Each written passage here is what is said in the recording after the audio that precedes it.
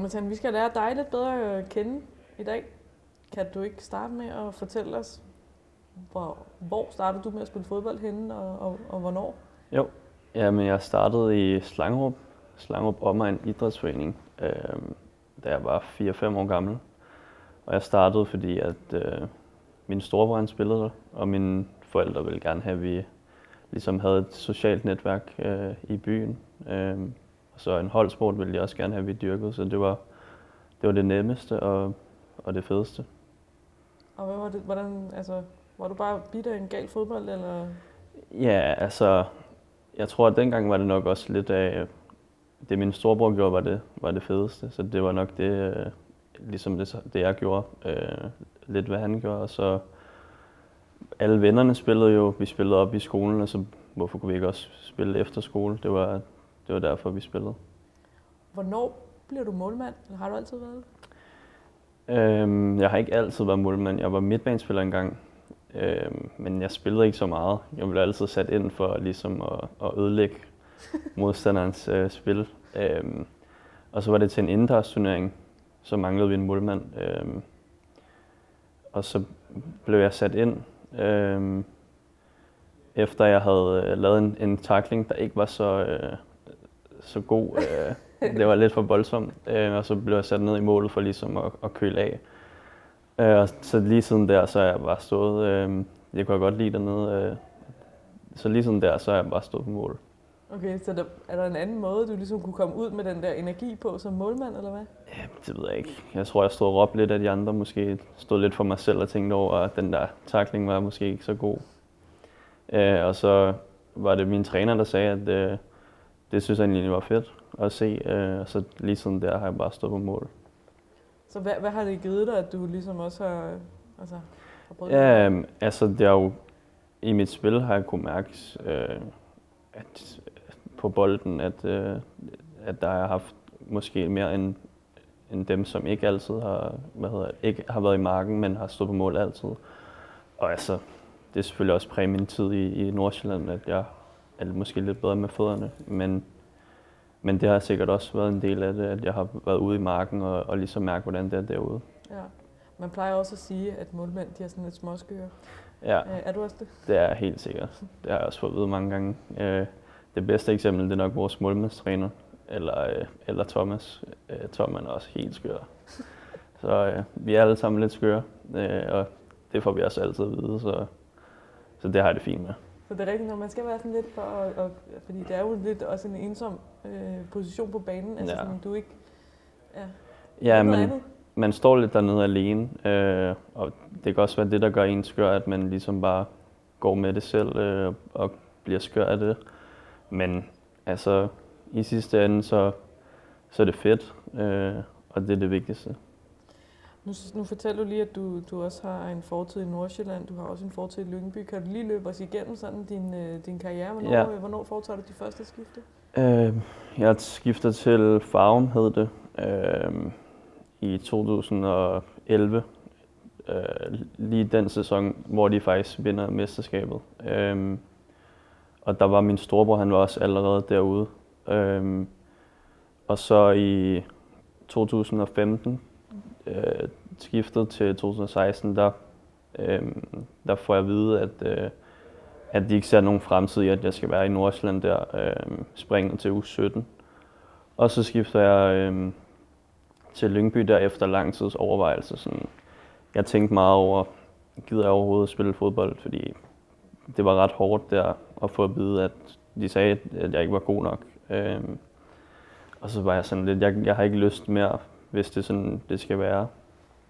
Og så sagde mine forældre sådan, det synes de var en mega dårlig idé, at altså, jeg skulle i hvert fald give det et skud mere, sagde de. Øhm, fordi sådan, sådan er vi i vores familie. Øhm, og så tog jeg til prøvetræning i Lyngby. Øh, fik jeg at vide, at jeg havde to uger til at, ligesom at, at bevise, at jeg skulle være der. Øhm, og så efter to træninger, så sagde de, ja, vi tager dig ind. Øh, og så lige sådan der har jeg, har jeg nyt at spille fodbold igen. Øh, og så fast forward til øh, sidste vinter, mm. hvor jeg så skiftede herud. Ja. Så du havde nogle gode år som, som ungdomsspiller i Lyngby. Hvordan udviklede du dig der? Ja, men øh, jeg kommer jo der i, øh, i 2016 vinter. Øhm, og der er U15 spiller, øh, og ret hurtigt så spiller jeg på U17-holdet og får nogle kampe der. Øh, jeg kommer på U16-landsholdet. Jeg tror, det var tre måneder. Ej, det var måske det var et år efter. Det var et år efter, øh, at jeg kom til, øh, til Lyngby og spiller på U16-landsholdet der. Øh, og har spillet på U17, U18 og U19-landsholdet siden. Øh, en enkelt U20-samling også var med på. Ja. Um, og været med på førsteholdet, øh, trænet med der, hvor Tom han stod. Øh, så det har været en, en rigtig god øh, tid for mig ude i Lyngby, med, hvor der bare har været skridt fra, fra U15 helt op til ja, U19 var det så. Ja. ja, fordi hvad er det så for en beslutning, du lige pludselig står og skal træffe der for, øh, for lidt over et år siden? Ja, men øh, hvad hedder det, min, min kontrakt er jo øh, ved at løbe ud der i Lyngby. Og jeg hører ikke, altså jeg havde ikke hørt noget. Ja, selvfølgelig, de, øh, vi snakkede løbende om, at de, de kunne godt lide øh, min udvikling, og de synes, den var positiv, men der var ligesom ikke noget på den front med forlængelse eller noget. Øhm, og så går vi ind i det sidste år, og der sker stadig ikke noget der. Øhm, og så er der det transfervindue efter corona, hvor der særligt åbent. Ja, der er åbent lang tid. Ja, hvor det var åbent helt ind i oktober, tror jeg. Ja. Øh, og der øh, byder FCK på mig der, øh, fordi de gerne vil have mig på deres U19-hold, og så på sigt på deres første hold. Øh, og det øh, hører jeg så igennem min agent og tænker, at det lød spændende. Øh, fordi jeg, det er jo ligesom det, jeg gerne vil, spille første, øh, førsteholdsfodbold. Men så tænker jeg også, det kan jeg jo lige så godt gøre i Lyngby. Øh, og så derfra så begyndte Lyngby øh, ligesom at indlede forhandlingerne, og, og det var jeg egentlig glad for der. Og så gik der nogle måneder, hvor vi, ikke, vi kunne bare ikke blive enige. Øhm, og så øh, var vi lige før januar, og så snakkede jeg med min agent og min rådgiver om, at vi kunne bare lægge det på is nu, og så kunne vi vente til januar, og så kunne vi høre fra, om der var andre klubber, der var interesseret. Og så kom vi over i, i januar der, og så snakker jeg med FCK igen, og Brøndby kommer også på banen der. Øhm, og de, vi snakkede frem og tilbage med begge klubber, øh, og Lyngby var også ind over der. Og det var egentlig, jeg skulle vælge mellem de tre klubber der, øh, og så til sidst så blev det Brøndby, hvor at, øh, jeg snakkede meget med, med Lars blandt andet. Jeg snakkede også med Claus. Ja, Lars. Øh, og øh, jeg snakkede med Claus, fordi jeg, jeg kendte Claus fra tidligere. Og så kendte jeg nogle spillere herude, kendte nogle spillere af begge klubber faktisk. Snakkede bare en del med dem, og til sidst så var det herude, at jeg, jeg endte. Øhm, og det er jeg rigtig glad for. Hvad var det for en plan, der blev lagt for dig, som, som du kunne se dig selv i? Øh, ja. Jamen, det første, øh, den første periode, der skulle jeg jo være på U19, eller U19-holdet, øh, og så skulle jeg bare færdiggøre min skole, fordi det var ret det var jeg selv. Øh, det synes jeg selv var vigtigt, øh, ligesom fordi jeg manglede kun et halvt år.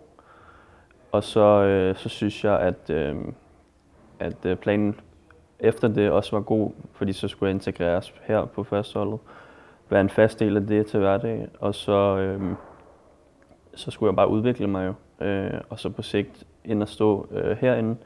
Og hvis ikke at jeg var, var god nok, så ville det være et, et godt springbræt. Øh, til en anden klub.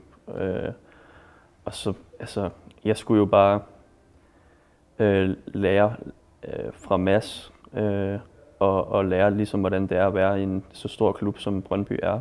Øh, og det, det synes jeg var meget attraktivt øh, dengang, og det synes jeg stadig det er. Ja. Hvis jeg sådan husker tilbage på, på for et år siden, da du skiftede til Brøndby, så var det også lidt atypisk for en, øh, en, en ungdomsspiller, men der var ret meget pressedækning om, omkring det her. Hvordan oplevede du selv den del af det, at det, at det, blev, at det fyldte så meget i medierne?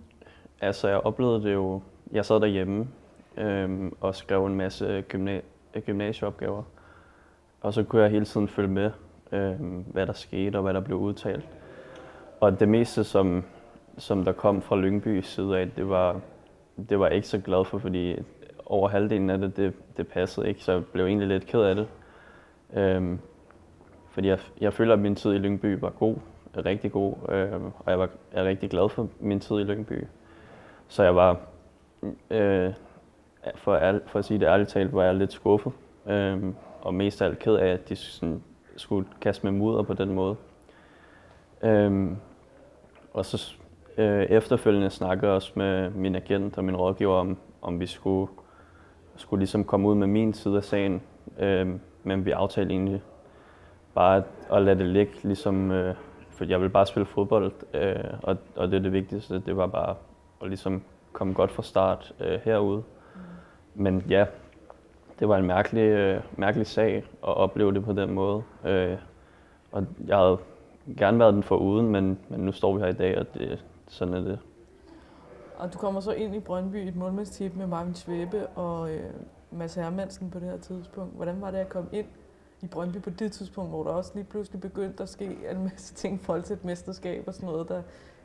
Altså, det var, det var virkelig, virkelig stort, kan jeg huske. Øhm, og vi kom, jeg kom ind i den her gruppe, der var, de var bare i zonen, altså de var fuldt fokuseret fra dag et, hvor jeg kom, øh, og man kunne mærke, at ligesom der, der, var, øh, der skulle ske noget stort i den her sæson, kunne man godt mærke. Øhm, og jeg, men jeg kan huske, at de, de tog godt imod mig. Øh, Tørnes også. Øh, Tørnes de, de tog alle, alle tre rigtig godt imod mig. Det er ordentligt sammen. Øhm, og jeg kan huske, hvad hedder det, jeg kørte på et tidspunkt med Marvin ud, fordi vi trænede ude på bane 27, tror jeg det var. Så kørte, vi kørte bare og hørte noget øh, tysk musik, som, øh, som jeg, jeg havde valgt faktisk. Øh, og hvis jeg husker rigtigt, så var det også Rykker. Det var hans yndlingssang, fortalte Marvin mig. Så altså, der var intet der, øh, der fik mig til at føle, at jeg ikke var, var velkommen eller noget. De var alle sammen de var alle sammen rigtig flinke og rigtig gode til at tage imod mig, men de var også alle sammen rigtig fokuserede, kan jeg huske. Hvordan var det så lige pludselig at gå fra at spille U19-kamp i Lyngby til at stå herinde den 24. maj og fejre et mesterskab? Ja, det var helt vildt stort. Jeg kan huske, øh, jeg kan huske dagen tydeligt. Øh, jeg, jeg kom med, med bussen herind, øh, og der var Brøndby farver overalt. Fra, lige så snart jeg var inden for 50 km radius af, af Brøndby, kan jeg huske, der var Brøndby fans over det hele. Og så sad jeg ude på, på bænken ved siden af bænken og så kampen. Og fra første fløjt var der jo næver på ude på tøjet. Øhm, og så da, hvad hedder det, da vi scorede det første mål, kan jeg bare huske, at man kunne mærke på alle, at det var ligesom en lettelse. Øhm, og, og fejringen efter var også, den fortsatte jo i, i flere timer, øh, så det var super, super fedt. Det var en kæmpe oplevelse i hvert fald. Og så er det jo ikke nogen hemmelighed, at Mads Hermansen han, øh, tog over efter Marvin og har fået sit helt store gennembrud øh, i den her sæson. Det er den første gang i ret mange år, at der er en keeper fra egne rækker, der, der har gjort det i, i Brøndby. Hvordan har det været for dig at se, at han ligesom har brudt gennem det glasloft? Jamen, altså jeg har jo set Mads til træning øh, et halvt år inden, og der synes jeg, at hans, hans niveau var højt. Øh, så jeg vil ikke sige, at jeg er overrasket, men, men jeg er ikke overrasket over, at han brød igennem, men jeg er måske mere overrasket over det niveau, han præsterer på stadig. Øh, og altså, jeg beundrer ham jo bare for det. Øh, og så kigger jeg også på mig selv og siger, det er også muligt for mig måske en dag øh, at stå herinde. Og altså, det motiverer mig bare til at, at træne hårdt hver dag. Ja. Men det er jo også lidt specielt som målmand, fordi du kan jo ikke få de der sådan, små 5 minutters indhop, som Nej. en angriber for eksempel kan. Så gør du der nogle overvejelser i forhold til, om du skal lejes ud og have nogle minutter et andet sted på et tidspunkt, ja. inden det måske bliver muligt her? Ja, det, vi har snakket om det, og vi snakker om det løbende. Altså, hvordan situationen er for mig, hvordan situationen er i, i klubben. Øh, og altså, jeg er sikker på, at vi, vi nok skal træffe den rigtige beslutning øh, til sommer. Om det er der, jeg skal lege ud og få lidt, lidt seniorerfaring.